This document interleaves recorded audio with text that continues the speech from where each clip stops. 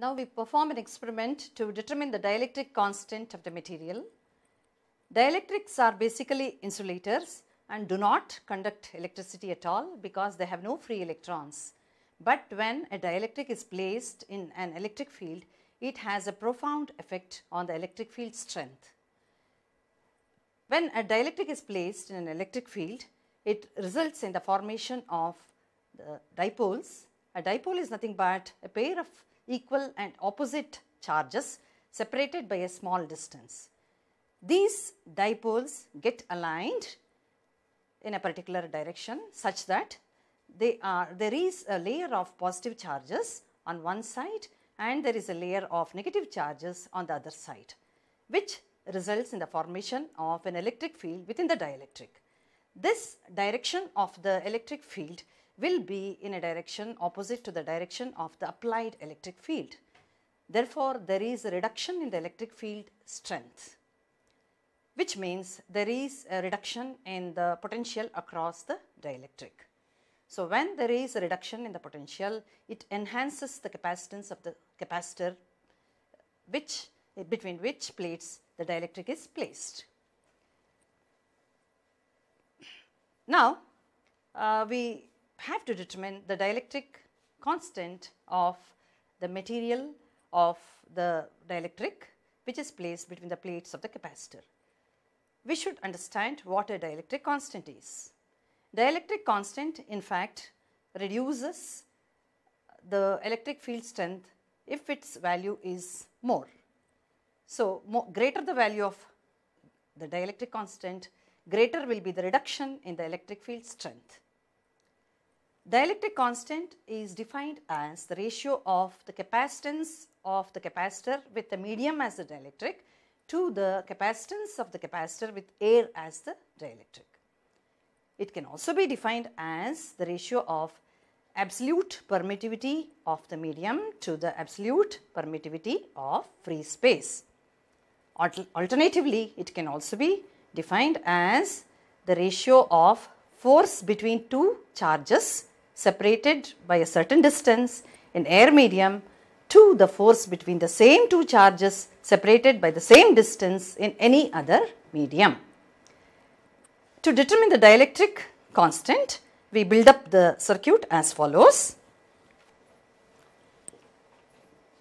We connect the power supply to the main circuit and then we close the gap between G and H and we drop connection of the resistance of 220 kilo ohm to the circuit.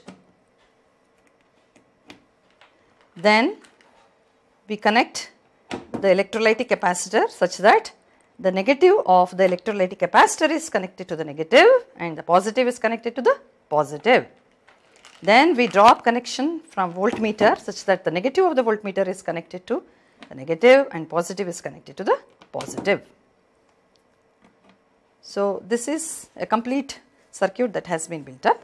Before we switch on the circuit, we have to take care to see that the toggle switch here is directed towards the discharge mode and then the timer switch is towards the stop mode.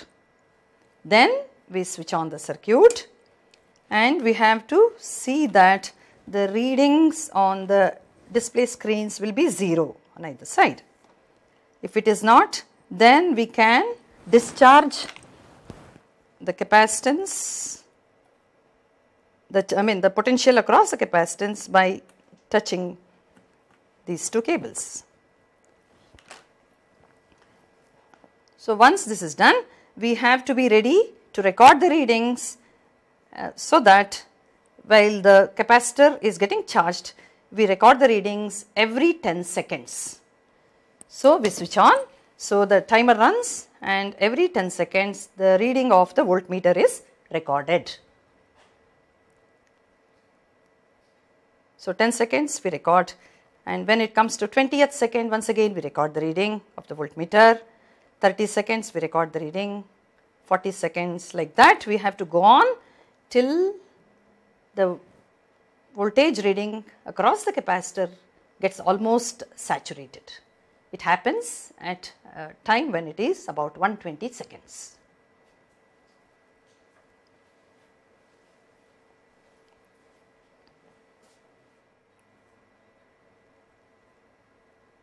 One should be very observant while recording the readings because the timer keeps running very fast. So, you need to record it very carefully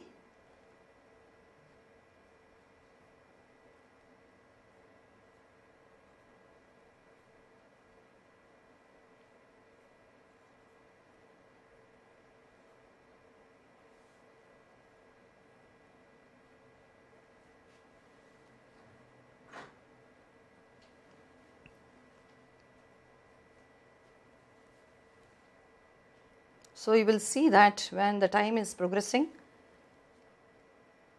the voltage value across the capacitor has almost got saturated. It is rising very, very, very slowly now. It has almost become constant.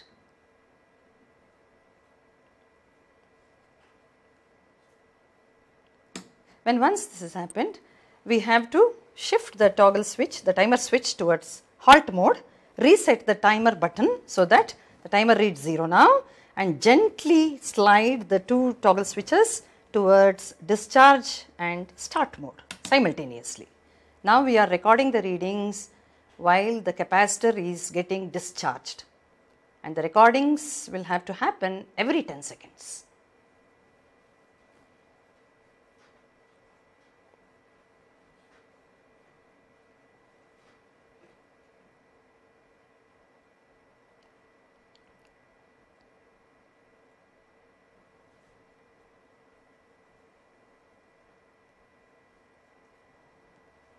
Once again, one has to be very observant and keen while taking readings because the timer is running very fast and every 10 seconds you have to keep recording the voltmeter readings.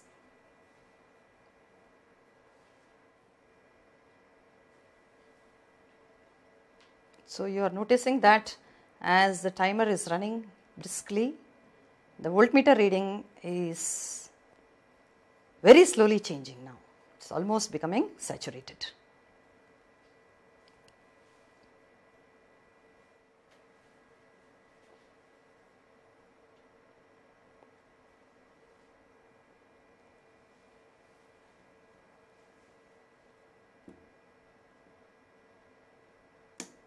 Now we are done with the experimental part of the experiment and then we have to now calculate the dielectric constant by plotting the graph of voltmeter readings along the y axis and the time along the x axis as shown in the graph.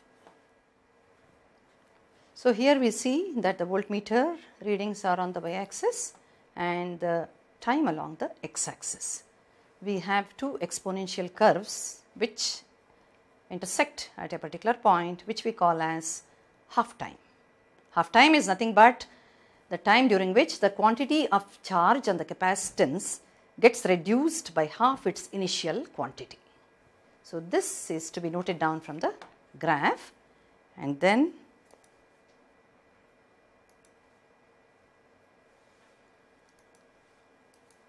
we substitute that value in this formula 10 power epsilon r equals 10 power minus 6 t half d divided by 0.693 r epsilon naught a where the symbols have the following meaning.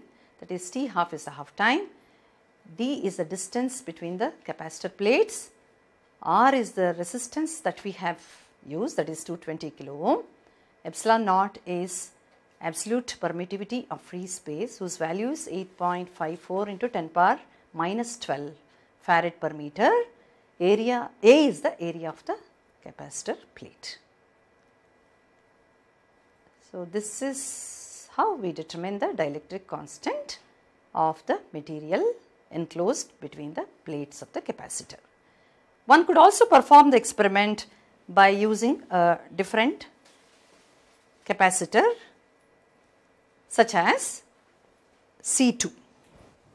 So, as a second trial you could also perform experiment using the capacitor C2.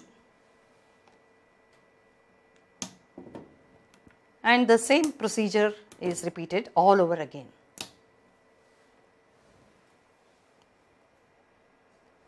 Dielectric constant measurement helps us in a way that we can fix the value of the capacitance of the capacitor which has a practical application in various sectors.